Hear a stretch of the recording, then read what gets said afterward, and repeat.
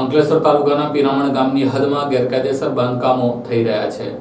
બોર્ડા અને પંચાયતના અધિકારી અને અધિકારીઓ આ આડા કામ કરતા હોવાનું લોકોમાં ચર્ચાઓ શરૂ થઈ છે.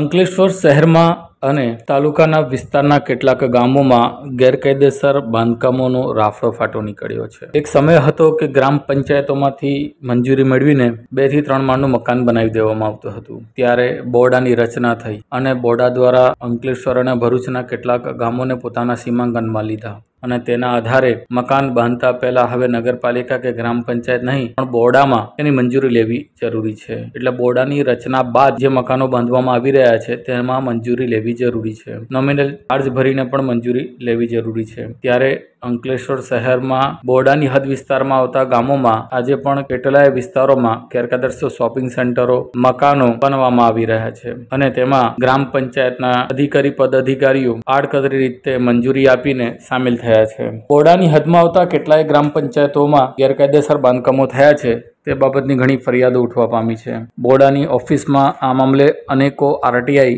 થઈ છે. રાઇટ ટુ ઇન્ફોર્મેશન એક્ટ મુજબ થયેલી આ ફરિયાદોમાં મોટાભાગે ગેરકાયદેસર બાંધકામો સામેલ છે. ત્યારે અંકલેશ્વરના પિરામણ ગામમાં પણ કેટલાક બાંધકામો ગેરકાયદેસર થયા છે તેવી ફરિયાદ મળી ને તેવી ફરિયાદો બોર્ડામાં પણ થઈ છે. ત્યારે અંકલેશ્વર તાલુકાના પિરામણ ગામમાં હાઈવેની ટચ મકાન બનાવી દેવામાં આવી રહ્યા છે અને સોસાયટીમાં મકાન બની રહ્યા છે, પણ તેની કોઈ મંજૂરી નથી તેવું જાણવા મળ્યું છે.